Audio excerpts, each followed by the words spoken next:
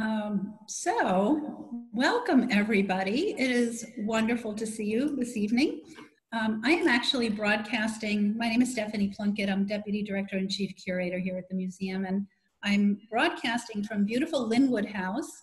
This is the museum's 1859 Berkshire Cottage, and uh, it was the original building on the museum's property. So here we are in the uh, the parlor, which is something that we now use for meetings, fortunately, and uh, we're very happy to welcome you. We want to thank you actually for adjusting your schedule uh, this evening to join us after yesterday's storm, um, which took all of our power out, both uh, here and south in Connecticut and over in New York State.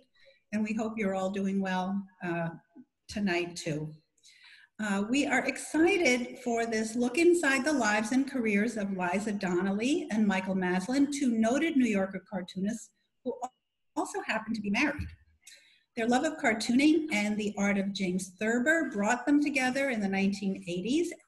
And many years later, it is perhaps no surprise that their relationships and family life, that relationships and family life are central themes in their work. In addition to creating cartoons for the New Yorker and other publications since the late 1970s, the couple has co-edited several cartoon collections, including Cartoon Marriage, Adventures in Love and Matrimony by the New Yorker's cartooning couple, Husbands and Wives, and Call Me When You Reach Nirvana. They have also worked on important independent projects focusing on the history of their field. Now, during this program, we are going to welcome your questions and comments, and um, we have a couple of stopping points along the way. So if you are either on the webinar or on YouTube, you can post those questions in, in the chats. And if you're on the webinar, uh, you will actually be able to pose your questions to Liza and Michael yourselves if you would like, and we can queue you up to do that. I'd like to just thank my colleagues who are working behind the scenes, Rich Bradway, Mary Burley, Alyssa Stubel, and they are making that uh, possible, which is terrific and welcome also to all of you. We are thrilled to have you. And it's just my pleasure now to just give you a little background on Liza and Michael, and then we are going to turn the program over to them.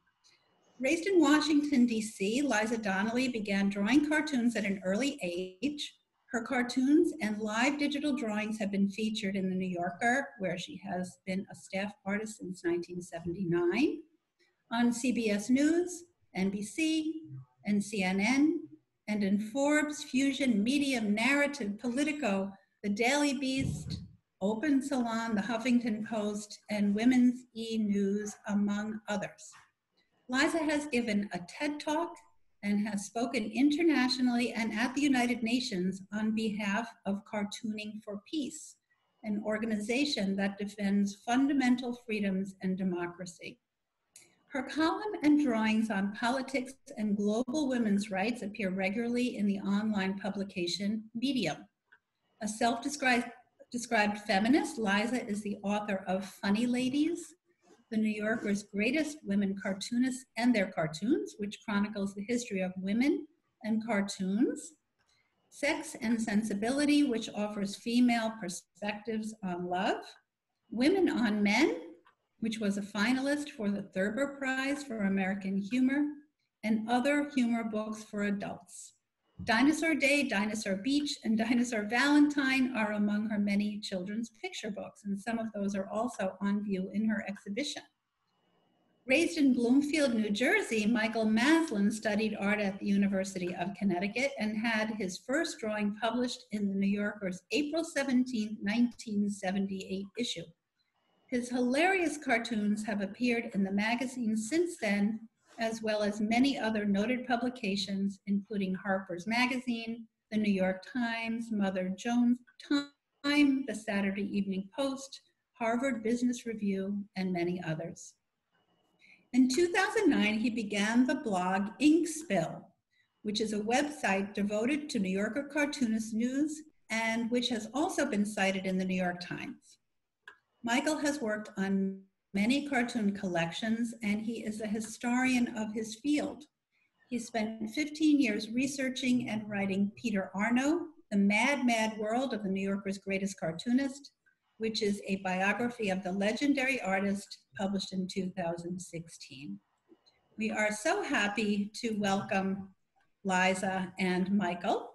And I'm actually going to just post a PowerPoint, which will just get them started uh, talking a little bit about their lives and experiences as artists. Yeah, there we are. Thank you, Stephanie. That was a, a very nice introduction. Thank you. Um, yeah, so that's pretty, it's close to where we're sitting right now. We're over here. I mean, you can't see it, but um, that's our living room. Our house is uh, very old, 18, 1800s or so. And uh, that's our dog Barney, who's no longer with us. Um, we got married in 1988. in in the yard, in not in this house, but we had a party in this yard. So we're in the Hudson Valley. It's a beautiful part of the world. Yeah. Um, Yeah, it's a, it's a beautiful site. Um, we Yeah, had the wonderful opportunity to visit with you as we were organizing the exhibition. Yeah. Yeah, it's uh, I mean, couldn't ask for a more beautiful place to live. For Uh, sure. We always liked little houses, so we, we lucked out and found this. And um, across the street, it's a very small little hamlet. Jump in anytime. You're doing great. uh, it's a small hamlet outside of the town of Rhinebeck, and um, didn't have much property when we bought it, but this house, this structure was across the street, and this used to be the post office and general store downstairs for this little hamlet called Milanville. And uh, upstairs is where my studio is now, and it's uh, it was a uh, a boxing place for boxing and dancing. Apparently, we were told by an old man who's from Littlewood, and that's my studio, the inside of my studio. Yeah, it's a beautiful big space and um, lots of great light. Yeah. it's, Um, really wonderful to see too that you have uh, some of your own work in the studio that does not pertain to cartoons. And I think you're seeing a little bit of it here. Yeah, that's one of my paintings. I, I, I have had uh, periods of time where I do abstract paintings, and that's Okay. one of. They're really wonderful. And I think there's another here as well. Uh, actually, the, the the pear is by our daughter, and um, this is also these are also the two smaller pieces are, are both by our daughters, and there's another abstract above above those. Um, but that's my main desk where I where I do things. What's that? What's that? What's that? Oh, the little black uh, black framed is a, a, a picture is a, uh photograph of, of our two daughters.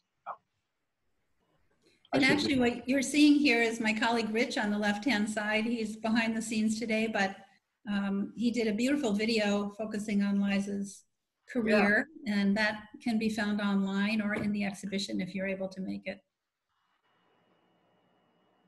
And this is Michael's space. Yeah, that's where I work now. I, I actually worked most of the, our years here. Been here 30 some years. Mm-hmm. And most of those years I worked in the, uh, what used to be the laundry room. And uh, it became so crowded the last few years, I had to leave. So I, I left that room, just pretty much, I didn't close the door when I left. I left the door open, but I walked out of that room and I set up shop in our living room, just feet away from where we're sitting. And happened to be a table there, so I sat at that table with really, I have some books around me, but in front of me now is just space. And the other thing, the other room, if we had a picture of it, you would see the difference. The other room is, you can't really move in there. I, I ran out of space even to work. So this is really a wonderful new, uh, I guess, what, a year or so, two years, or Yeah, some- something like that, two years maybe. But I really love being here now and having all this elbow room and you always wanted to be. You always wanted to be in the house. I wanted to be in the outbuilding when we got married and moved here. Um, but you always wanted to be where the action was. I wanted to be removed. And we split when we were younger and raising kids. We had two daughters. We split our time equally. So he would watch the kids for four hours, and while I worked, and then swap. So Wow, that's a great system. Yeah, worked out. So this is a little bit of the story, I think, this cartoon of how you guys actually met. Would you want to say a little bit about it and tell everybody what's happening here? Yeah, this is one of the narratives from the book Cartoon Marriage. Just say that. Um, we did uh, Cartoon Marriage is a book we did and has, and we'll talk about that later. But let's talk about how we met. Um, Well, it seems like it all began on a cartoon unite. yeah, it was a cartoon show exhibit of, of work by lots of different cartoonists put on. The, the show was was uh, conceived and, and curated by Roxie Munro, who at the time was a cover artist and a friend of mine, and she's now a, a really well-known children's book author and, and illustrator. So anyway, she put this show on, and it was at Parsons School of Design, and um, and it traveled to Washington as well. So that's where we met. October 4th, 1984. Um.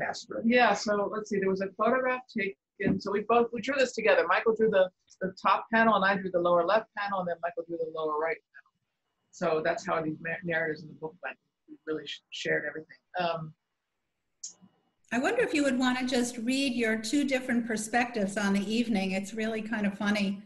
Uh, the Okay, cartoon is longer than this, but this this is an abbreviated. Liza's memory, a group photo was taken of the cartoonist without Michael, but I didn't know that. I didn't know, I didn't know him, so I didn't know he wasn't in the photo. And uh, my memory, I didn't know anybody. The only cartoon I remember looking at was Liza's, which is true. And that cartoon is at the Norman Rockwell Museum. I was happy to see it. The uh, I don't pet dogs. We're gonna see it in a minute. Yeah, you can see it. We'll And, see it uh, in a minute. Yeah. Yeah. And uh, that truly is the only cartoon I remember from that night. And the reason I noticed it was because uh, it's very odd to see, for me, somebody new, and I, did, I didn't recognize her name. And I didn't know she was a she, I just knew it was a new cartoonist. And uh, that was fascinating to me. You still like that. You still love when you spot a new cartoonist in a magazine. You're like, who is that? I want to know who that person You bet. um, yeah, the cartoon community is a nice community. I mean, it's uh, it's small, small-ish New Yorker cartoonists. So parties are always fun because you tend to know everybody. So this is uh, first, how can I put it, full, full cartoon. I, I sold an idea to the New Yorker in uh, 1977, and uh, shocking to me at the time, I'd been trying for a long time, seven years, which I heard Ed Koren say the other night. He and I talked about this afterwards. Had to go through seven years of rejection. I had you there? And um, so it took seven years, but when I sold something, I actually sold an idea. And at the time, I had no clue that they just would buy the idea cartoon. And so it was kind of an odd situation because I could tell friends, well, I sold something to the New Yorker, but when you see it, it's not my drawing. It's, it's Whitney Darrow Jr.'s drawing. Yeah, so they bought the idea. Yeah. and- And then a few months later, they bought the whole thing, drawing and, and, and caption. And that's what this is. And it ran, I think it was bought right after uh, beginning of the new year, 78. It ran in April, as you said. 78. it's the very first one, very, you know, the first drawing is always the one you can remember a lot. That was, yeah. I mean, I, I didn't, I didn't know you. I didn't know you then. Was your first one? Yeah, it is. But I wanted to say that that was tip, that was not untypical to for them to buy ideas from beginning cartoonists. Um, it might you know you send in your weekly bunch of drawings and they'll buy one, but they won't buy the drawing. They'll buy the idea to give to one of the more established Thing doesn't cut out. guys, and they were all guys at the time. Okay. Um, and yours idea was given to Whitney Darrow Jr. But like Charles Addams used one, was given one of your ideas later on, and Yes. other other. I mean, it's not that they didn't do their own ideas; they did, but they also used other people's ideas. They needed some assistance Yeah, I guess. So. as time went by. And this is my. So now, was this the cartoon you were referring to, Michael? That's it. Eric B. So um, this is sequential drawing, uh, and uh, there's a couple things I can say about this, but uh, it was actually the second cartoon they bought from me. The first one they didn't run. They bought in 1979, and they didn't run it until after this one. So they, they bought this one second, and then ran this one first. Does that make sense? Um, uh, this uh, Stephanie, you know this story. You, you found it amusing. I thought it was interesting because they don't always give you direction in cartoons. They they either buy it or they don't. But sometimes the art art editor, who was Lee Lorenz at the time, would, would give you a little advice or a little suggestion, a little nice suggestion, what you might do differently in the drawing. So when I sent this is a sketch, it had the dog tied to a post in the ground, and and Lee said, well, shouldn't shouldn't the dog be tied to a parking meter or something like that? So I said, oh yeah, you're right. There are no posts in the ground in the city really. So um, I went out and I sketched some parking meters for a while, and then I came back and drew this. So um, yeah, they the New Yorker liked sequential drawings. This is in the 70s and 80s. This is the 80s. Uh, Shawn, William Shawn, I think, liked sequ sequential drawings, and uh, I, they bought a number of these types of. Now we call them graphic narratives, but um, they uh, they bought a bunch of these from from me. And one of the things that Liza did show us was uh, you had basically a sketchbook full of parking meter drawings. Yes. Which is probably you being out on the street and trying to figure that out. Yeah, no, I just I was so nervous. You know, the first drawing that I sold to them, I drew. I must have, I showed you that too. I had like a hundred sketches or drawings of that drawing before I got to the one that I thought was good, and uh, who knows why I thought it was good. But um, I said to Lee before I finished the drawing, I called him up on the phone. I said, uh, "What style do you want me to draw this in?" Because I was so nervous. And he said, "Well, draw it in your style." And I thought, "Wait, I have a style." That was exciting to hear that. I'd like to see that. I, have never seen that page. Is that in the show? No. um, oh, so this is actually obviously not either of your drawings. Do you want to talk a little bit about this? Well, you got something to say about this? Go ahead. Okay. This is this drawing changed my life. That's a big thing to say, but it's true. Up to the time I had before I had seen this drawing, I was my influences were all over the place, including Norman Rockwell, as I told you, Stephanie. I was drawing Robert Crumb-like things. You know, I was taking a little bit from everybody. And I know Ed Koren mentioned that the other day about uh, the lion being made up of all the lambs it has eaten, and uh, that's so true. That uh, I had a lot of uh, a lot of lambs in me, and uh, but the day that my friend Matthew showed me this drawing was in the Thurber, and still is, in the Thurber Carnival. I remember that exact moment, struck by lightning really, and I saw this, and everything changed. I stopped drawing the way I, I was drawing, and I started heading towards how I draw now. I'm still not finished. But, uh, I think I'm still changing, but this particular drawing changed it all and, and made me uh, become a Thurber fanatic and beyond that, a New Yorker fanatic because of Thurber. So uh, it all came out of that drawing for me. So this, yeah, uh, James Thurber, for those of you who don't know, was a writer first at the New Yorker, a humor writer. Really funny short stories. Um, Secret Life of Walter Mitty is one that many people know. Um, but then uh, correct me if I'm wrong, but it, you know, midway into his time at, at the New Yorker, he started doing cartoons. Well, just a few years um, for them, and they were very loose like this. This is just his style. He was not trained as an artist, um, but that's what makes his work, I think, so wonderful, and the way it works so well with the captions so often. Uh, we don't have a lot of caption cartoons here but, of his, but uh, I, I, this is something that brought Michael and I together at Thurber, is that we both started drawing because of James Thurber, I, or I started drawing because of James Thurber, because my mother gave me a book of Thurber cartoons, Thurber Carnival. The book's called Thurber Car Carnival, and uh, I started tracing them. This is when I was seven years old, and and uh, made her smile, and that was all I needed. Was that was the reinforcement, the, re encouragement. So I kept drawing my own cartoons from there, and uh, there is uh, very important to me. And that, and and and so when, when Michael and I met professionally, we were like, oh, we both love Thurber. And then our first date was to go see a Thurber, an original Thurber at the Armory, an auction at the Armory in New York. Um, and we didn't buy it because neither of us could afford it. Um, we weren't going to pool our money anyway, so we just met. Horse with moose. So there was a big deal. He's great. He's wonderful. So there's a great question um, from our audience from, excuse me, the New Yorker cartoonist Michael Shaw, who was actually on a wonderful program with us last week. And I'm wondering, Mary and Rich, if we could um, invite Michael to pose his question because it does have to do with Thurber and Thurber's influence on you. So I, I think we will be able to do that. Let's see.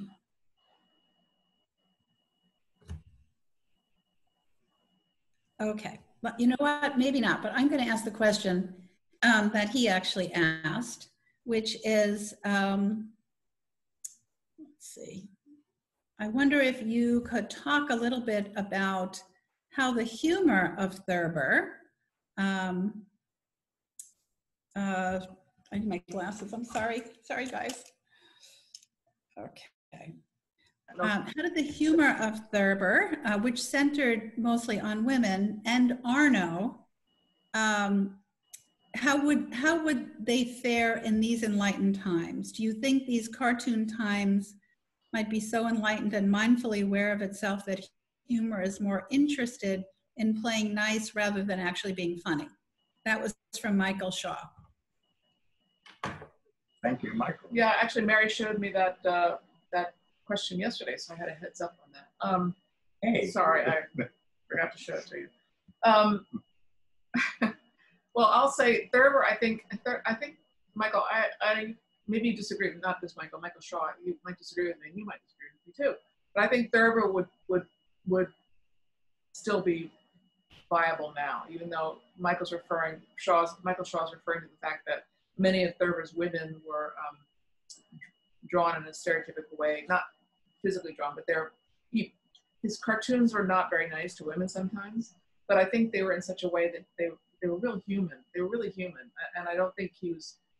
I mean, Thurber may have been a mis- misogynist. I don't know, but uh, um, I I think his cartoons are would stand would be acceptable now. I I, I, I think maybe one or two wouldn't, but. Uh, um, I just think, uh, well, I mean, I'm growing up looking at his looking at his cartoons as a young woman. I've written about this too. Uh, looking at his cartoons about uh, women, they were either Thurber's women were either big, you know, stocky, kind of oversized battle axes, you know, that were like bullying men, or they were these wavy kind of floral, sweet women, you know, that were sort of uh, harm, seemingly harmless. So uh, that as a young girl looking at those, I'm like, is this what I'm supposed to be? The one or the other? Like, so I mean, you could see that his cartoons might be might be problematic for some people, but I, I don't think so. What do you think? I don't know. He would be drawing differently now, obviously, right? He, would, wouldn't be drawing those same. If he was alive now. He would, everything would be different, and that goes for Arno. Uh, Arno did a lot of uh, drawings back then that were probably deemed acceptable back then, but he wouldn't do those now. I mean, why would he? Unless he was totally self-destructive, he wouldn't Yeah, do that. Um, it's, Yeah, I mean, I think it's an interesting, interesting to note artists really are of their time in many ways. And so yeah, that probably would be different if they were working at a different time, yeah. I wish they were still working, but you know, you Yeah. can't do everything. for sure.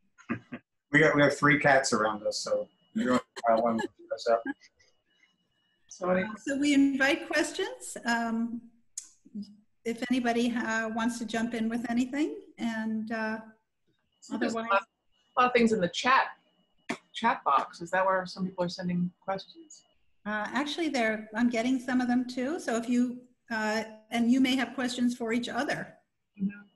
Um, there was actually one wonderful question which came to us, which had to do with whether or not you being married uh, and doing cartoons about marriage actually work through some issues in your marriage through cartooning. Uh, But, you know, well, we talked about this yesterday. uh, How how uh, cartoons, how, how our work uh, is affected or not affected by being married. And the funny thing is, we thought it was funny, was that we couldn't really come up with any examples. We came up with one drawing in 30 some years each of doing this. Uh, well, 40 years, I'm sorry, 40 years each of doing this.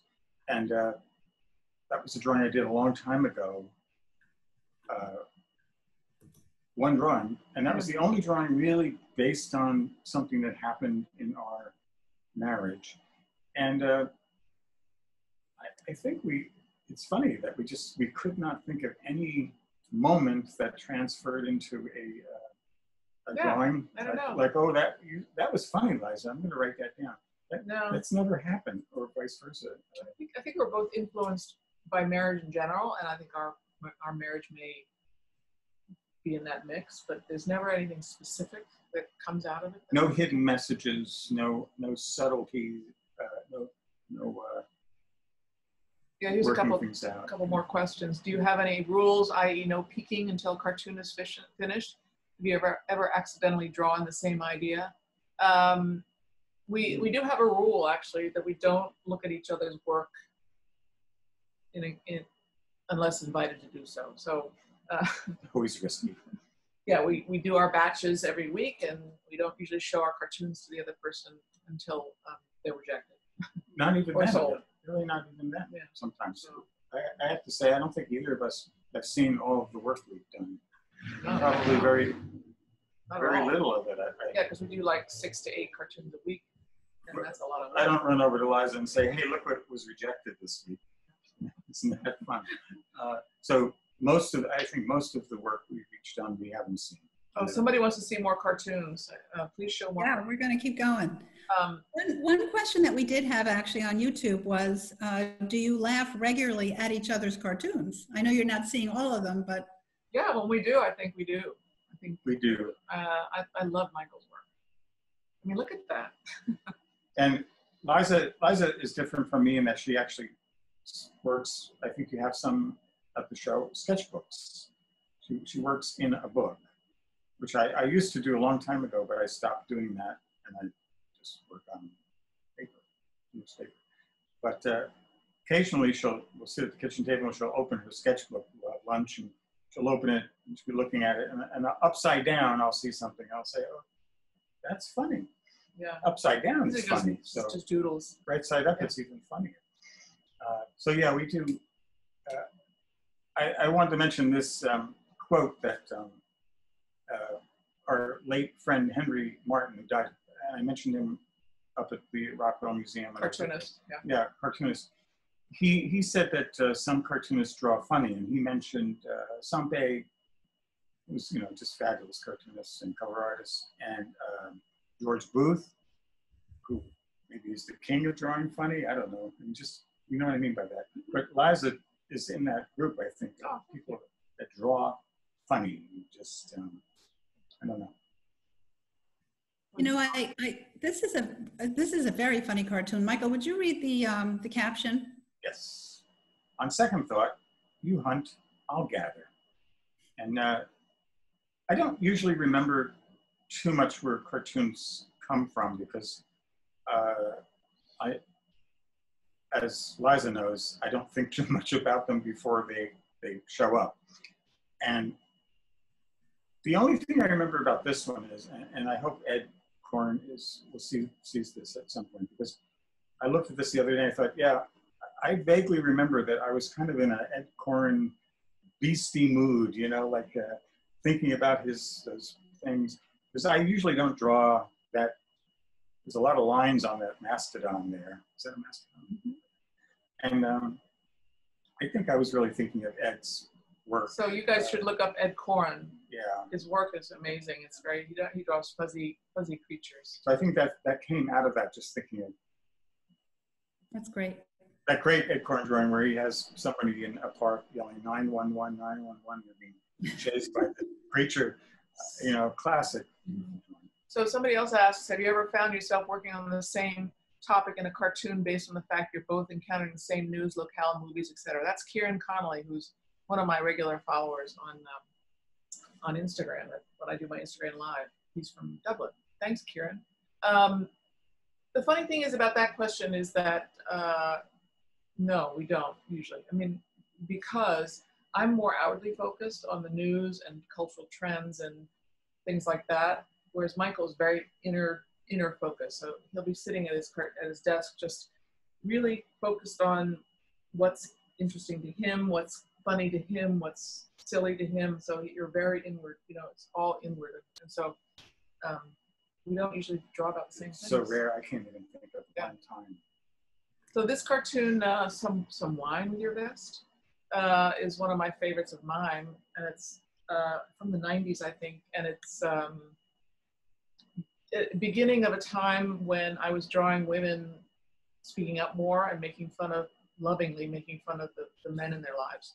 Um, I, I've done a s several, actually many of these types of cartoons, and I I think it was the beginning of a real feminist direction of mine that I never thought, I mean, I've always been a feminist, but I never thought that I needed to, to express it in my cartoons. I just wanted to be a cartoonist. I didn't think I needed to be an activist cartoonist, and that's changed.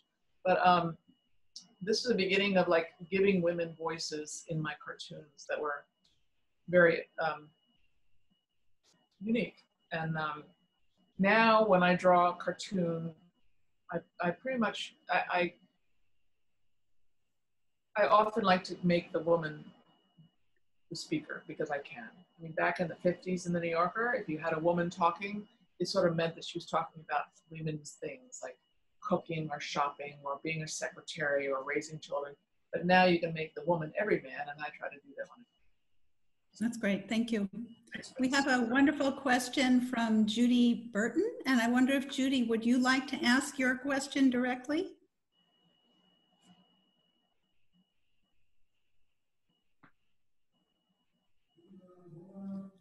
Rich is working on it.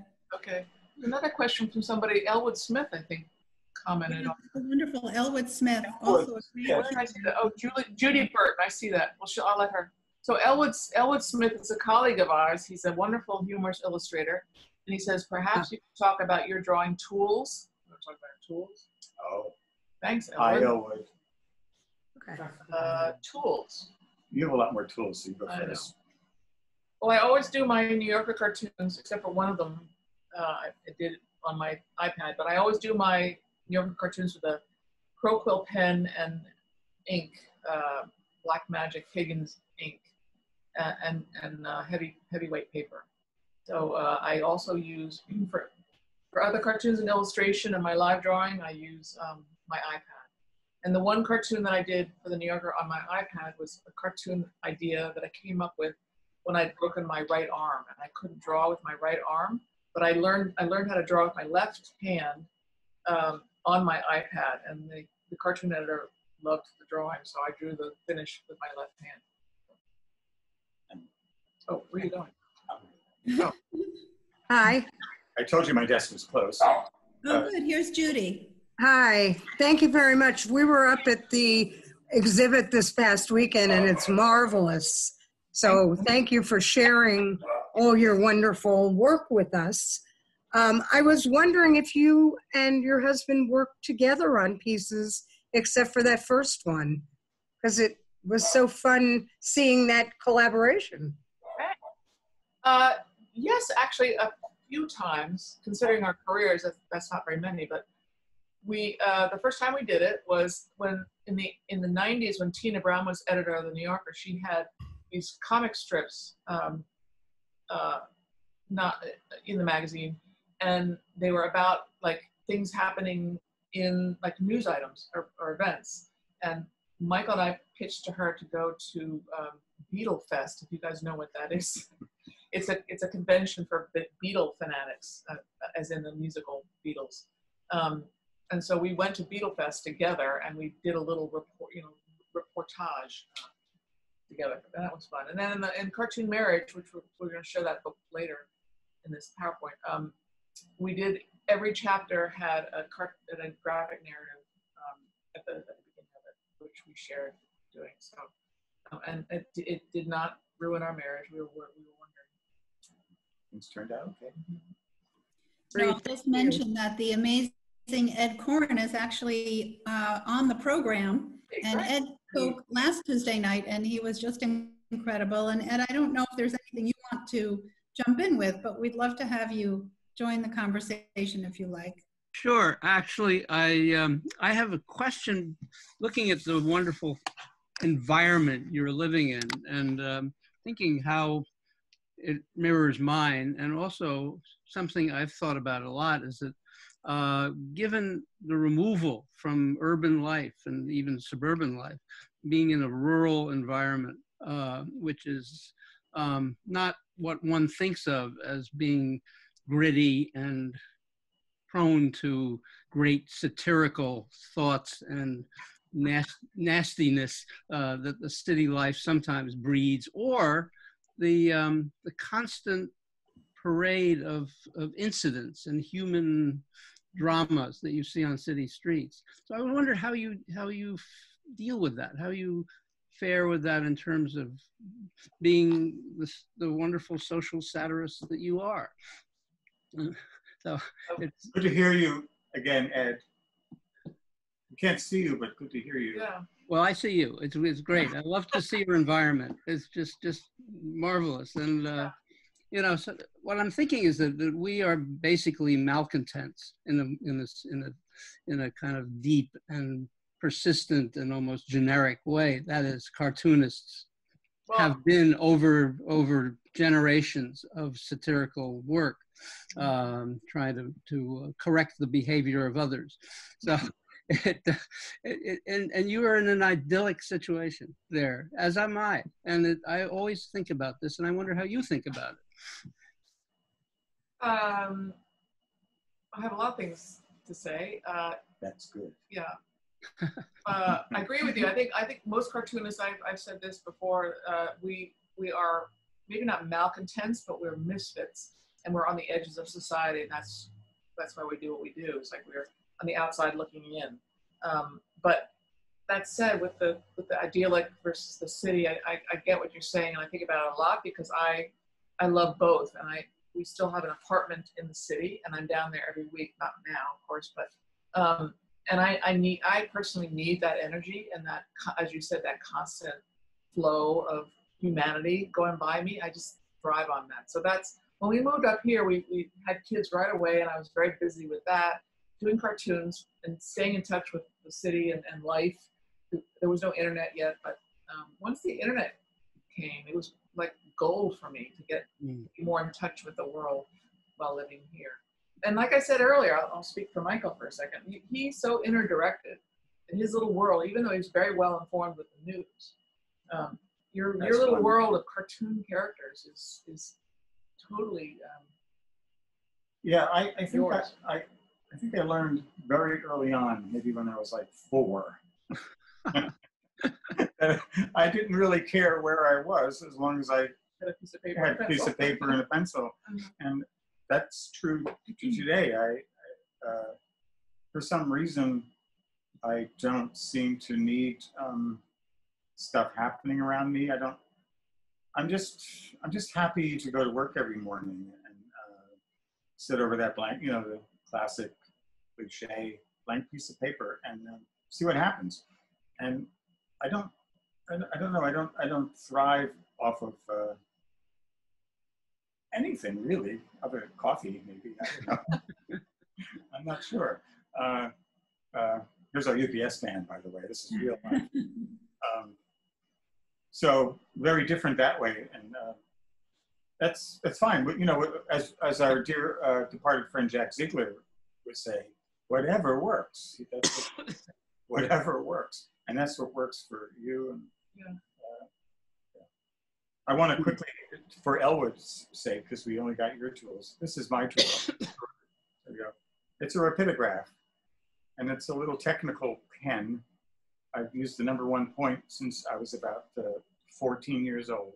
And, uh, that's what I use. Fill it up with ink. And uh, That looks like a modern rapidograph. Can you hear me? well, the, the barrel is modern. I have all of my old ones because they cracked from holding them. The barrel's cracked and wouldn't hold the point anymore. It would get loose. So it is a modern one. That is true. Uh, and I just replaced the point. which was quite old. It's finally clogging. Um, but that's what I use. I love this cartoon. Yeah, this- This it's one I- so I- fun to find out that Schubert's basement was also unfinished. It's really great. I, I added this one simply because it was one of the rare times that I got something. We, we do get occasional now emails from the, the fact checkers or from somebody correcting our grammar or something like adding a period or taking away a period. But this was probably the only rough drawing I got back where they, uh, this is during Lee Lorenz's time, and it had on the back an actual engraving, I think, of Schubert. Said, this is what Schubert looks like. Because I, I don't remember what I drew, but I just made up some guy that I thought would look like Schubert. So, uh, and I still have that piece of paper somewhere. But I thought, wow, that's, this is probably from the 80s, I think, mid 80s. I thought, well, it's pretty intense. They're watching us that closely. Are they going to, you know, go into basements and see if all that stuff is okay? I just kind of I made don't know up. what half that stuff is. Yeah, I just made up, but I, you know, that's, uh, that's why that's there. I like the drawing, but I also like the fact that they gave it such a thorough, um, I, lo- I love the way Michael makes stuff up because I I've learned a lot from you about that. Like you, and I like I, I would panic. I'd like I don't know how to draw a furnace. I can't draw a furnace. Well, you can sort of make it up. You know, you don't have to. Nobody else knows what a furnace looks like except for furnace repairman. well, But you can sort of make it up and get the general gist of a furnace. and, and Ed Koren mentioned George Price when he was on with you guys, and uh, this is very George Boothian, George Pricean, and in adding all that stuff. Both of them love Yeah. to add things, and I, we are influenced by by everybody, and um, sometimes my influences show a lot more than others, and this definitely is a Boothian Mhm. George Price. I say George because there was a Garrett Price. Uh, Also great cartoonist for sure. We have another really uh, good question for Michael, actually, from Jessica Esch. I wonder, Yeah. Jessica, if oh yes, Friend yes. of ours, Yep. Jess. if you'd Oh, like to, this if is one of you'd like to ask Michael your question, that would be great. Okay, Hey, Jess. is this going to be a numbers thing or something? Jess is also an illustrator, artist. She keeps, she has a great, uh, she keeps track of uh, Yeah, gender. Uh, numbers that's why I mentioned that. She keeps track of the gender numbers. Uh, in, in, in the magazine, like who- how many women cartoonists, male cartoonists. I think she does. Oh, wow. Yeah. She also does it for uh, writers, and cover yes, artists. everybody, I think. Let's see if we can hear her voice. If not, I can ask her question. All right, so we might have a hard time bringing Jessica up, but he, she asks, uh, Michael, have you had any temptation to go digital? Because obviously Liza went a little bit in that direction now, and how about you? I have had no temptation to go to digital. I don't even, I, I'm not even tempted to go to a Uniball micro, whatever pens that people all use now. The, me using that rapidograph is, that's old, very old school. And a lot, I know a lot of cartoonists still, still draw on paper, use micro or something or other, micro pens. I don't know what they use, but um, no, I, I have no, I love the internet. I'm on it all day long because of Inkspill. So I love it as a tool, that tool, that kind of tool, but I don't have, uh, I don't know, not, not up for that. nothing. I'm Thank glad you. Liz is happy with it though. Nice. Great. Liza, do you want to read this caption? Um, the little boy is saying, I don't see liking trucks. The boy, I see it as a liking trucks thing. Um, so is one of my, I, first of all, I love sandbox drawings. I love putting words in the mouths of kids in sandboxes. Uh, some psychiatrist can analyze that. Um, but I think also, I think my influence in that regard is, is Charles Schulz, the Peanuts uh, genius because I, I loved Peanuts growing up, and I, he always had, you know, among all the fun and funny stuff that those kids did, he often would have like a real poetic thing to say that came out of those kids' mouths, or that Snoopy did. So I was a big, big fan. Um, and this is a just a twist on a gender conversation that, I mean, I, we were having this conversation when our kids were, our daughters were young. So you, the sandbox is kind of like a, uh, for adults, it's like Starbucks way, right? And they get together and they hang out for a long time. Yeah, and I've done Starbucks type drawings. And yeah. they say things to Yeah. each other. And I, I noticed you both also use a, a kind of a caveman occasionally, a caveman, cavewoman uh, format. What, what do you, what do you like about that? Or just this one. well, this is not caveman. Um, it's also a, a format for me that it's fun to draw. And, y- y- You know, I don't know the, the animal skins that they wear is kind of fun to draw that. But they, for me, it's like a way to talk about things in our culture that are stupid or silly. Like um, um, I've I've done caveman drawings about um, about uh, humor, about about marriage, about uh, I don't know, uh, martinis, you know, things that are clowns. Yeah. So it's a way to comment on, on our culture. Like people in the caveman era run across a, an engagement ring. Like, what is that? Why are you wearing that rock on your finger? So that kind of funny thing. It's extremes, isn't it? I mean, it's, Yeah. it's, uh, let's go to the extreme. Let's go to the earliest humans we can think of and make them deal with stuff that we have and see what happens. I mean, that's what we do. We just throw things together. Yeah, it's like random, random. Let's see what happens. It's, uh, How did you go with this idea? Speaking of early humans, this, I mean, this is, or non-humans, early creatures, this is a very funny cartoon. Do you want to say something about this, Michael? Well, I, I do I do like um, there are a lot of go-to uh, moments that cartoonists have. The desert island is probably the most famous one. I've done a lot of desert island cartoons, and this isn't this might be the number two one that I go to, and I do it because it it's challenging. You think, you know, you, there's not going to be another one of these evolution drawings that's that's going to work. That I, at least I would send in. I do a lot that don't work. But, um, and then every once in a while, something happens like this. Maybe I think uh, I like fish sticks. I think that's really. The fishes come first, and then you put them in that, or they you're just Well, drawing look at the chart, dear. It's No, I know. You in your head. evolve, they In your no, I know. Oh. In your head, the fish sticks come first? Like I want to do a I- fish stick drawing. I don't know. I mean, I think that's what's fun about these is that you draw. the- For me, I just draw that line, that kind of French curve, and then you know what's going to happen. I, I don't know. And uh, I we don't have fish sticks often here. Too long, yeah. So I think maybe I wanted them or something, and, and so I drew them. It, it all made sense after that. Makes That's how they. That's how stuff happens. Really So we have a great question for both of you from Susan Rankin Pollard. Have you ever come up with an idea together that had um, that had some conflict over who would draw it?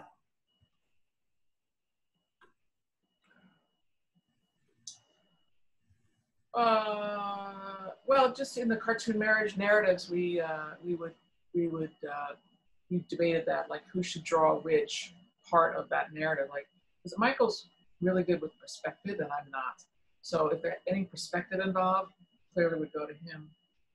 Um, but no, we, we don't draw together that often, so it's it's only that book.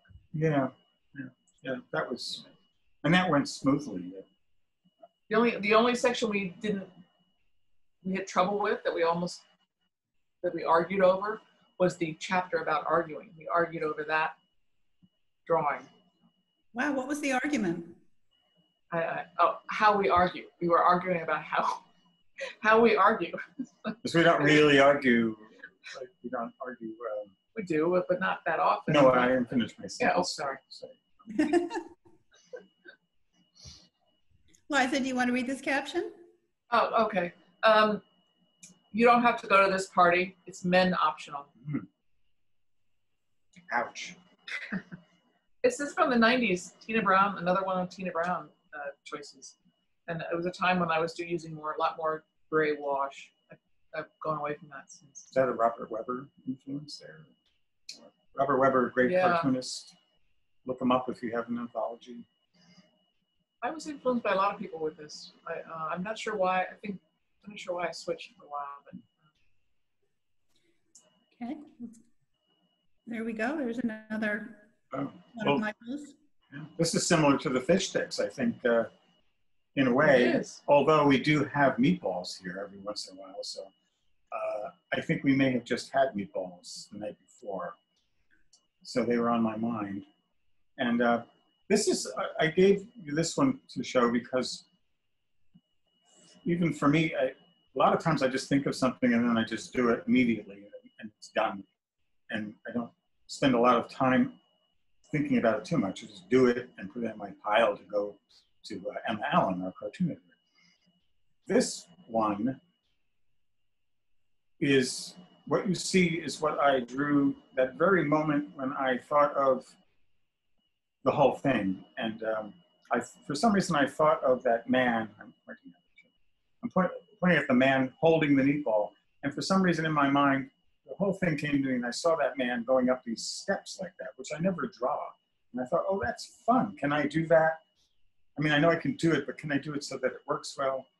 And so this was the first take. It's like in a music studio. This is the first take of this drawing. I just did it just like that, and um, the way it went. And the New Yorker published it. Uh, I think mm, late last year or something. like Maybe this year. I don't I can't remember. I mean, with with that, st- I'm just noticing now the steps. It makes it even funnier because he's had to struggle with the steps That's right. with Yeah. the meatball. If you just had him walking straight on the, on the flat, Well, let's have. it's Yeah. uh, it's much more funnier that way. That's and how then I he saw also had to pull the thing down on the or pull the thing up on the on the truck. It's all very. Funny. yeah, you have to get the meatballs. So look at that perspective. Anyway, that came to me visually as boom, and then I just did it, and was very pleased. We have a question from YouTube, from Monica on YouTube. She wants to know if you are generally uh, on board with each other's point of view, uh, or, you know, are there exceptions to that? in, in, in anything specifically point of view? Uh, I think, you know, she's, I guess she's wondering if you're, if you're generally on the same page in terms of um, your work, Oh yeah. or maybe supporting, supportive of each other. Well, yeah. that we are. Yeah, yeah, that, that we are. Yeah, I mean, I think we, you know, we we spend a lot of time talking about cartoons. And it's cartoon land here. We just talk about a lot. we have a huge number of uh, you know books about cartoons, and we'll reference things that remind each other of things, and. Uh, and we, and as you heard, we both come out of the Thurber School of Cartooning, so we have that foundation it's very strong and uh, yeah i think our our points of view are very similar Great. Liza, this was a, a very significant cartoon for you. Do you want to read the uh, caption and then say a little bit about it? Sure. This- Uh, I put this in for a reason. Yeah. Um, little girl saying, "Daddy, can I stop being worried now?" And um, it's not funny, but it's a cartoon that I did right after nine, uh, two months after 9/11. Um, uh, and I, I wanted to show the audience how I do sometimes do non-funny, sort of slightly political cartoons. And um, uh, this one, after 9/11, I, I thought I really started questioning, like a lot of people, questioning my my uh, purpose in life. Like, why am I? What cartoons? Is that really what I want to do? Um, and I drew this, and the New Yorker bought it and printed it, and sort of I felt like, okay, I, maybe I do want to keep doing this. Uh, I, I found a I found a niche, and um, and and and after this, I decided to, to to try to do more political cartoons. I've always I wanted to be a political cartoonist when I was a kid, um, but I didn't think I had enough strong opinions to be one. Um, and so uh, then I found the New Yorker, and I realized that they had they have political cartoons in, in the magazine. They ha- always have, Hmm. um, but they're they're they're different. They're not the hard hitting ones you think of of people attacking politicians, and although they do that now in the New Yorker. Um, so it, it was a good fit for me. And this is the kind of political cartoons that I've done, sort of quiet observations about how politics affects people. And um, who was your hero i know you had well you had several well, when I was growing up in Washington, D.C., I, I loved Herb Block, who was the Washington Post cartoonist. Um, and he, he helped bring down Richard Nixon. And, um, and also Garry Trudeau of Doonesbury was a big influence. And then he, Trudeau also did, does, he's still working, um, cartoons that talk about culture and about racism and sexism and, you know, cultural things, not just um, political leaders. So. Maybe a little Ed Sorel too. Not back then. I didn't know who he was. Oh, you never.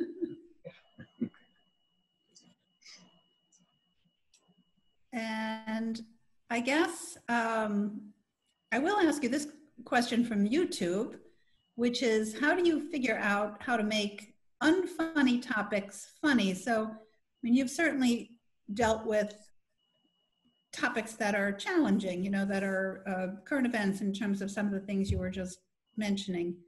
How do you bring humor to those kinds of topics? Not, sometimes not easy. That's more of your. Yeah. I avoid. I avoid all the unpleasant topics. Have you? You've. Very few, like three. Uh, Um, but you you take on the news. I mean, you look at the news and you, and, right? Yeah, I wouldn't do that. yeah. I, I don't know how to answer that exactly. Uh, how do you make unfunny things funny? Sometimes you just can't. Sometimes you have to find a way. You really, you have to find things that you really want to talk about, um, and find and figure out why why you want to draw about that, and what what's behind it. Like that 9/11 cartoon. What's behind the tragedy of the the attack is that's not funny, but and neither is the cartoon actor, but um, the underlying thing that was going on a month or two after 9/11 is we, the United States was totally shocked. We were brought into with the rest of the world in in worrying about terrorism. Like we joined the rest of the world, and so that's and then we're still there.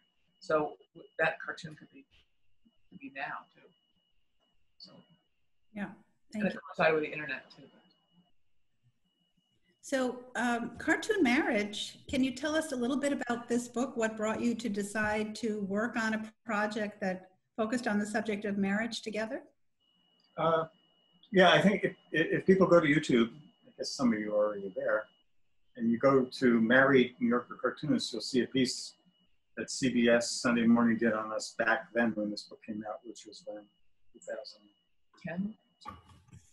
And um, in, in there, we're on record as saying, uh, and I think it's true, we, we knew, since we loved New Yorker history, we knew that we were the second married cartoonist New Yorker couple. Very specific thing there, but Alan Dunn and Mary Petty were the first. And uh, the 30s.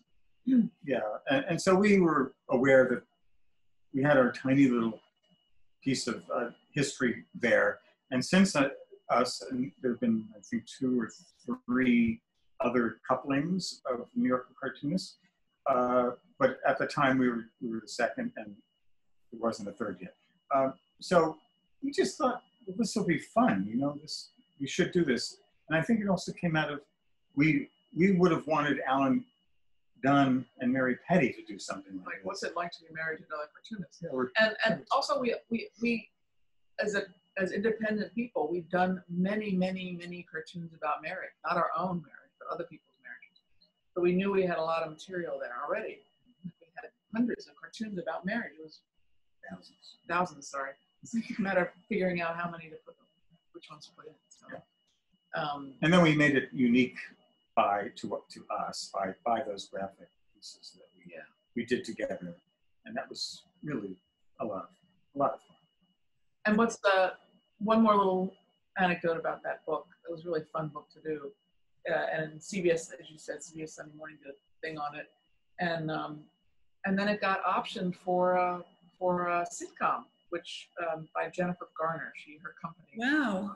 Yeah, and uh, the script was written by Terri Minsky, who um, is a seasoned TV person, is, and um, she came up and spent a day with us. she wrote a script, and uh, it got really close to getting picked up, but alas, it didn't happen. So that that was fun. That a was little, a little adventure in TV land. That must have been exciting for sure. Yeah, it was odd.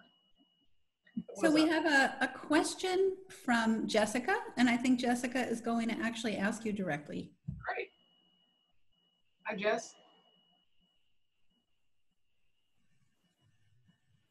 Oh, it looks like my audio is working. Um, Here it is. Liza, I was just wondering if you are the first person to be published in the New Yorker uh, who in, in both hands. Oh. Left and right And hand. surely Michael knows the answer to this. I know, I was gonna turn to him. Do you That know? is a, that, no? We- I think we talked about this. Well, let's say that this, I have never come across anyone saying that they were Right. ambidextrous. So I'm not gonna say I'm ambidextrous, but I. I that's did. true. Uh, But uh, yeah, that's that's a fun, that's a fun question. I I wrote about the whole experience um, for the New York Times. So if you want to read about it, you can go to the New York Times.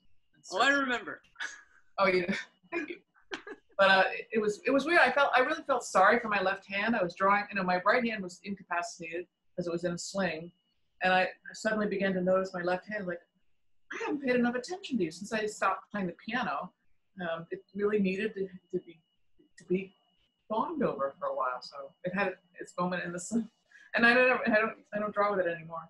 I don't think we'll ever know. The, there's some questions we will never know the answers to at the New. Yorker. Please, That yeah. one of them. Maybe I should make a list of questions we'll never know the answers to. Liza, do you want to read this caption and a little bit about Um, this? The, the, the man on the left is saying to his friend, uh, I hear their marriage is in trouble. Uh, I don't know. I don't know why I like this cartoon, and Michael likes it too. Well, it's my favorite Liza Donnelly cartoon of all time. Wow. I love drawing people that are dancing wildly like that. Just I like to do. Um, but you never know what's going on in somebody else's marriage, and, and you don't you don't know the dyna- dynamics. Clearly, it does not look like their marriage is in trouble, but you just don't know. It's very Thurber too. I think that's what I like about it. It shows, it shows your Thurber roots, and but it's also you, and it's just what you just said. It's, you know, you never know. You And never. it's your favorite. That's amazing. And this one from you, Michael, on marriage. Yeah, uh, that's another one of those. Although this one is very low on the on the uh, the list of um, things people go to cartoonists, but you could probably do a third, maybe a fifth of an anthology of marriage signs on the back Or, the, or signs on the back of cars. cars. Yeah, I've done one.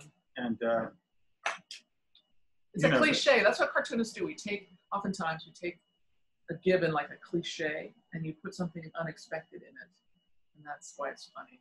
hmm or not, or not Or not- not. uh, but this one, I, yeah, I'm very happy with that, and I still, I, I still, this is my favorite one of these of my own that I've done.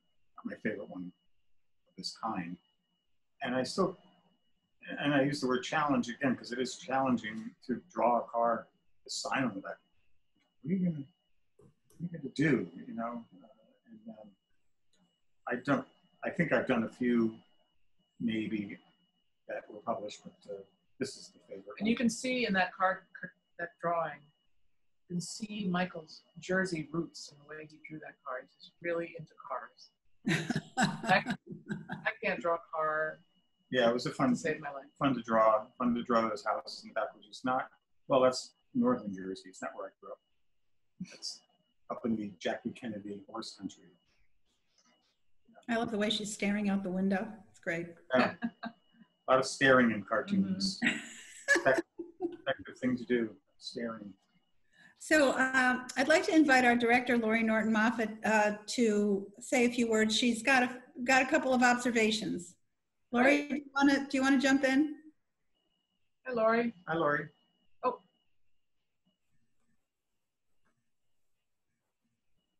Let's see if we can hear Laurie in a minute. Laurie, Laurie's the director. She's it's such a great museum. Okay. Well, we may not. Laurie, when when you when you want to jump in, just jump in. There she is. Here I am. There she is. Thank you. I was ruminating over uh, earlier uh, when you talked about drawing not funny cartoons that we we associate the word cartoon with funny, but sometimes what you're able to do as cartoonists is really illuminate an idea and help us identify with a notion that might be terrifying, might be sad, might be scary, might be, you know, world um, erupting, such as during 9 11, or I even think about you know the horrors happening in the world today and that sometimes cartooning isn't funny. And yet you illuminate and really help us see. And i just wondered if you might talk about that a little bit of how you really you know key into the essential elements of an idea and you lighten it enough to help us receive it and then hold it Great observation, Laura. Yeah. That's your department.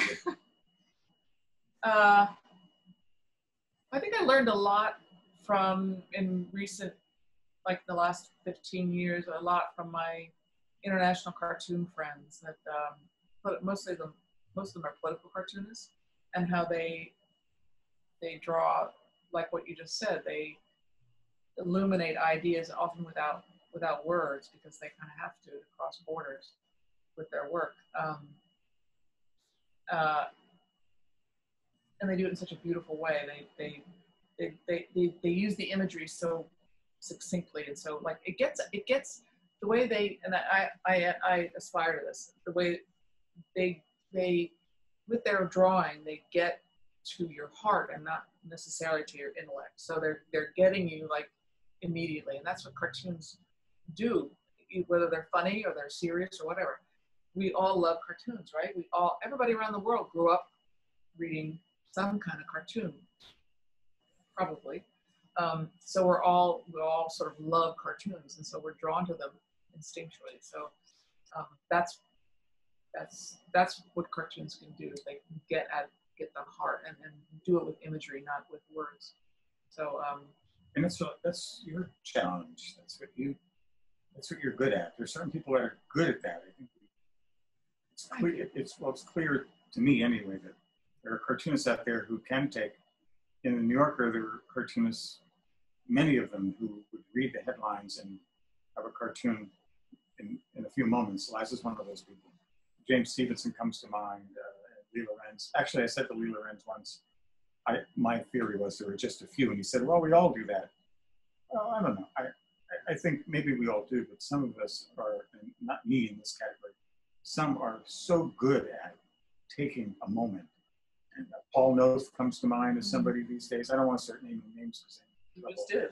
I know I did. I would There's a lot of people, but It's a lot of people Yeah. that in the New Yorker, and also the covers. Some of the covers do the same thing, Yeah. and, uh, and then the international political cartoons that I talked about. And some of some of our colleagues here in But America. there's something in their in their mix that allows them to be able to do that. You know, it's it's great. But, Well, I mean, you do it too on a different level. Like you're you're tuned into the zeitgeist of, of culture. Like he'll like that I am. meatball one. You are like the meatball, Meatball- one. I mean, that's really that's not political. It's kind of political. The meatball one in that um, our our our culture is is having these delivery services like crazy right now. It's like um, you I know, think that was pre-delivery. But, sorry. oh, So Wow. Not Well, actually, I think, Liza, you've talked about how sometimes a cartoon can be done at a certain point in time and then something shifts in the world and it means something else. Yeah. Maybe, Michael, that's one of the, one of the ones. That's right. Yeah. Well, yeah, my my uh, my drums one. I didn't show this one, but the, oh, it's- it's- and there's another one. Uh, I don't know if we're going to show it, but the fermenting one, where they were they were drawn before the pandemic and then published or rebrought brought back in social media during the pandemic because they were pandemic-like cartoons. Uh, I, I do have one. I, I think um, maybe I'm more of a selfish cartoonist or something. I don't, I don't, like I say, I don't really try to draw things that are going on in the world. But I do, but I do attempt sometimes to deal with things that uh, I know for me are are, um, are troubling. And uh, I do a lot of doctor cartoons. I don't like going to the doctor. I do a lot of those. I do a, a good number of uh, cartoons about things in the water. So I'm frightened of the water. You know, deep sea things. I have a deep sea diver, like Diver Dan. Remember Diver Dan? Yeah. Over there. Um, so I, you know, I do go to some things that uh, I know are troubling to other people, but um, also you can look at on on same level you can look at cartoons in the past in the new yorker and, and elsewhere and see how badly we were behaving. You know, um, cartoons that they thought were funny that were sexist or racist at the time um, are clearly wrong. So it's uh, cartoons are a great window into how how our culture is It's history. It's just behaving. illustrated history. Yeah, it's history, exactly. Um, you've got some great collections up here on the screen. These are other things that you've worked on together. I wonder if you would want to comment on some of these projects. So um, back when our daughter's second daughter was born, I I um, I don't know how can I put it. I was nervous about raising daughters. I mean, I I you know all the media about how difficult girls can be. Our our daughters ended up being not at all difficult. But I, I knew, yeah. So when we had a second daughter, I thought, oh my God. So I did a book. I decided I'm going to do a collection of cartoons called Mothers and Daughters. And I invited a bunch of women uh, who draw cartoons to contribute. And that, that was the first one. And then we, we said to each other, well, we have to do fathers and sons. So we did fathers and sons, and I enlisted his help. And then we thought, well, we have to do husbands and wives. So we did husbands and wives and worked on that together. That was precursor to, um, to, to uh, cartoon marriage. But that, they're all drawings of other people. Oh, this is just ours. I was going to ask you that. Yeah. No, but Fathers and Sons was cartoons by Ben, and Mothers and Daughters was cartoons by Bush. And then, and then, uh, you want to talk about that one? Yeah, Call Me When You Reach Nirvana, I think came out of the fact that we live, what, four minutes from something called the Omega Institute. And uh, I'll try to be pleasant and, and nice, but we find it amusing about some of the things that they that go on down there. And so we got hold of their catalog and we just went through it. It was like shooting fish in a barrel. Uh, We, had love the Omega Institute. We love the it's Omega a whole Institute. different kind of thing. Yeah, like wonderful. drumming circles and I've never been well, I was crystals and once. Yeah, it's a they're wonderful great. place. No, they're great. But um, we got this. This book came out of just really looking. I suppose we should have co-edited it. Looking at, at their catalog and, and just laughing at uh, so many words and usages. Of, And it came out at a time when that was a new thing. New Yeah. age, new age, the new age. I forget. New Age. Mhm. So they, pro- they provided a lot of inspiration. Um, Liza, this was an important project for you, and both of you are actually great historians of your field, and I think have documented uh, the work of some very important artists. So, would you want to say a little bit about Funny Sure. Ladies? Um, I could talk forever about this stuff, but I won't.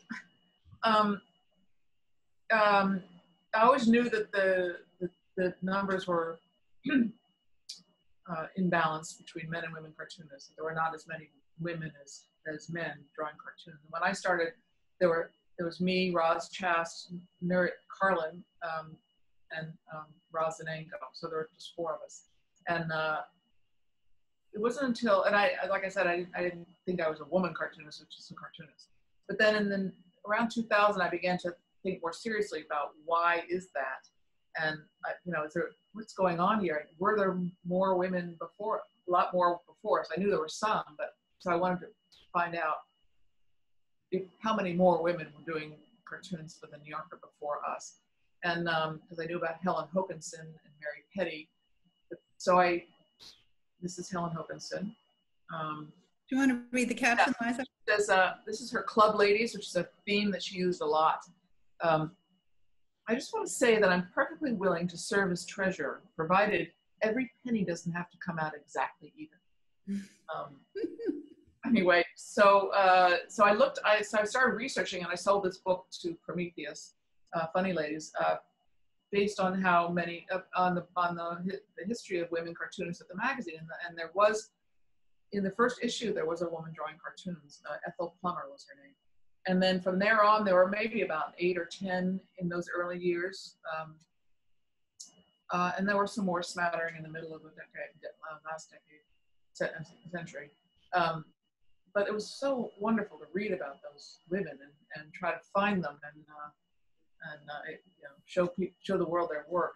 And uh, I'm actually, Stephanie, I'm I, I'm con- contracted to do an updated version of this book, so I'm very excited about that. It's going to come out next year. Very exciting. So, will that will you bring it into uh, you know kind of 21st century? Yeah, because, because now I have to point out, and Michael Michael discovered this first back in 2017, I think, was the first issue ever where there were more women cartoonists than men cartoonists. And, uh, Wow. and ever since then, um, it's been a, a good mix of numbers of men and women drawing cartoons. So it's uh, things have certainly changed. Exciting. Jessica S. S. Uh, disagrees. She'll let us know. She would know. Mhm. And, uh, Michael, this was a, a really important and exciting book that you worked on about Peter Arno. Would you want to talk a little about that? yes, th- this was one of my favorite things I did, other than be a husband and father and New Yorker cartoonist. Uh, this came out of the idea that this great cartoonist, who some people credited actually saving the New Yorker in its earliest years, first two years, his popularity saved the New Yorker. That no one had written about him further than maybe a few pages. And uh, when I realized that one day, I, I thought, well, somebody has to do it. Uh, I, I've never written more than a, a few sentences for a cartoon caption. So this was the idea of doing this really made me sweaty and, and, uh, and but also I was very excited about it. And uh, it did take a long time because I'd never written anything like this before. And um, boy, what a what a ride! What a great great ride this was. And, and uh, one of the best things that came out of it for me was connecting with a lot of our uh, colleagues from the past who uh, were at the ends of their lives, unfortunately. Some people like Sid Hoff and Steig. Uh, at least I got to um, to write to them, hear from them, and that was really great. And then, of course, to have finally to for uh, the book to come out, and um, uh, Regan Arts did this book, and I, I, think they did a great job, a really great job. They allowed me to do what it, what I wanted to do. What more can you ask? Uh, he was a real character too. I mean, he his drawing was amazing. Yeah. So very, man very about pleased. town. Very Man about town. Yeah, Yeah, I'm very pleased that this came out. great. Thank you. Oh, and actually here are a couple of great Arno cartoons. I don't know, Michael, do you want to say a little about these? Yeah, the oh, the one on the right doesn't have a caption. Uh, it does have a caption, but it's not there. the bartender peeking over to looking at the customer saying, "Will that be all, sir?" And uh, that looks like a 1950s cartoon. The other one looks 50s, 60s, maybe. And I don't remember the caption for that. He did almost a thousand cartoons, so I hope I can be forgiven for that. I can't remember my own caption. Caption, yeah. Something about a likeness, I think, was, was in the caption. A remarkable likeness. Yeah, likeness. that's the guy. Yeah. and he, uh, Arno would do full pages like those. And, uh, wow, what a, So what a great job. Yeah. Yeah, beautifully designed and funny. So this is uh, a shelf with lots of your books on it. Um, you guys have really worked on many publications. Uh, Liza, you with children's books and your, your joint compilations and individual, individual projects. Um, what do the book projects mean to you? Why are they important? Um, well, uh, uh, I love doing the, many of my, a couple of my book projects are about women's issues, women artists, and that's important to me for obvious reasons. And um, uh, the children's books, I just love doing them. They're nice. They're nice distraction from politics.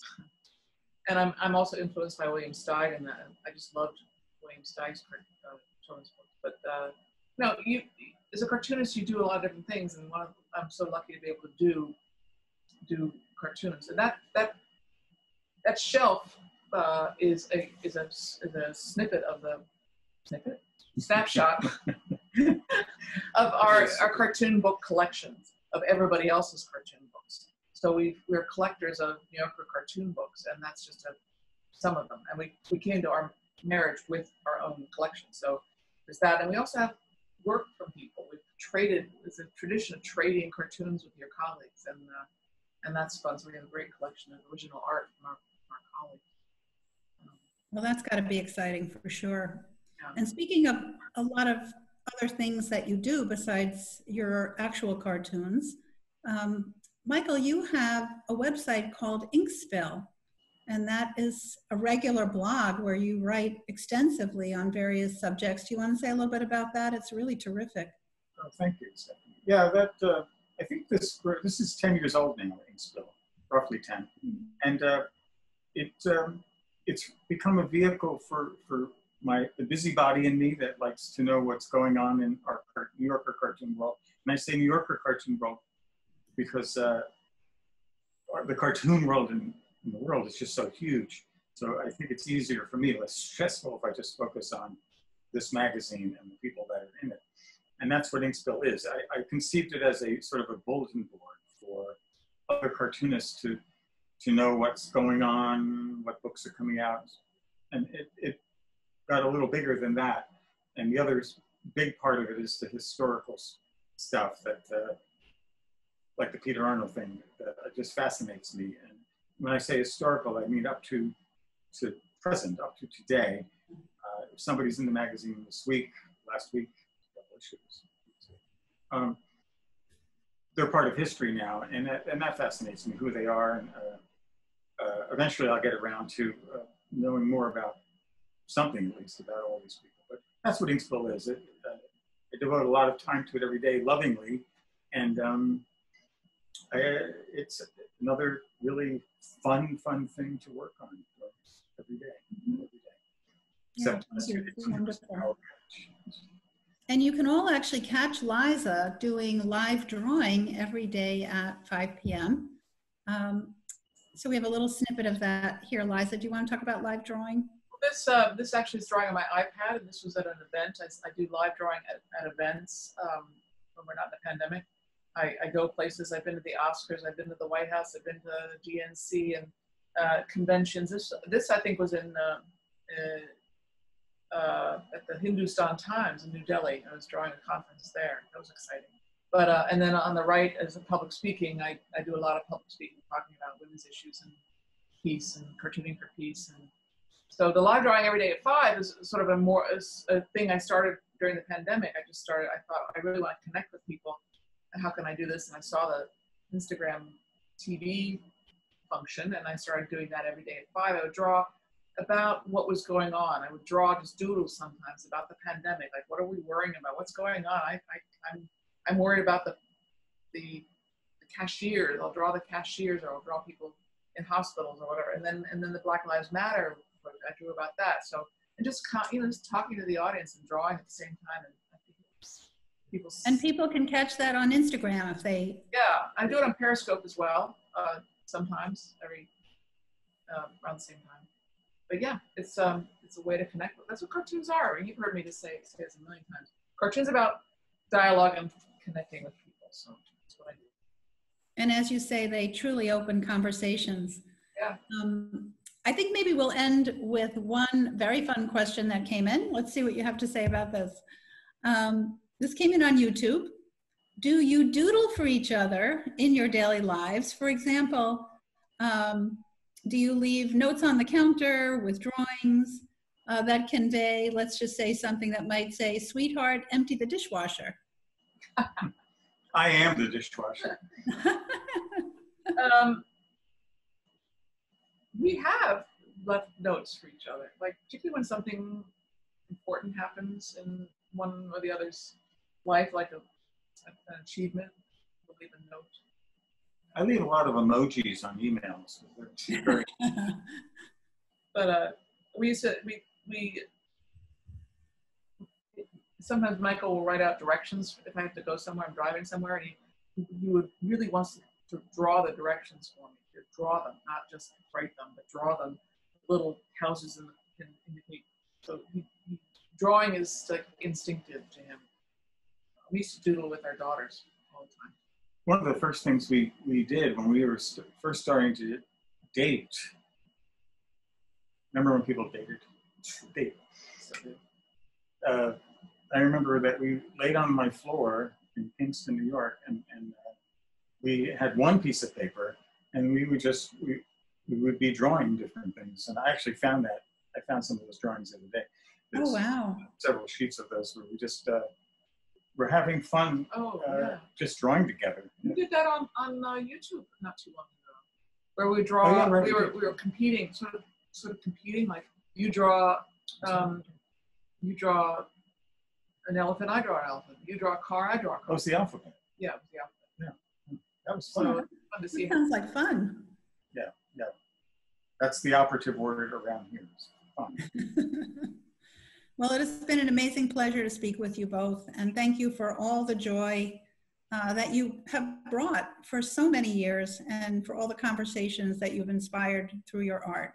It's really been uh, a pleasure to have Liza's work on view, and uh, Liza's exhibition will be on view through September 27th if you haven't had a chance to come in.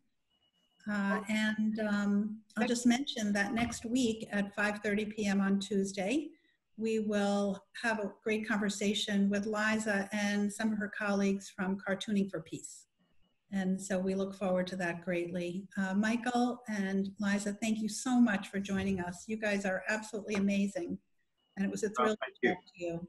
Thank And you. Thank you Stephanie. all out there for joining us. It was really a pleasure to have you with us and we'll look forward to seeing you again soon. Thank Thank you. you so much, Stephanie. Thanks for having us. All at the Rockwell Museum. Have a wonderful evening. Bye. Bye-bye. Bye.